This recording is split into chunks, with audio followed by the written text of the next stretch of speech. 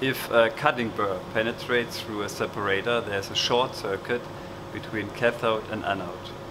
So measuring the cutting burr is of the highest importance in terms of safety. And there are two standards, the IEEE 1625 and 1725. And these standards say that a burr must be smaller than half of the size of a separator.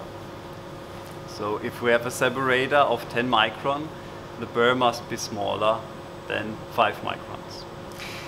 So to sum up, what we have to detect is we have to detect burrs with 5 micron thickness. We have to identify hidden burrs as they might be the root cause for the growth of dendrites and we have to identify the break-off of active material.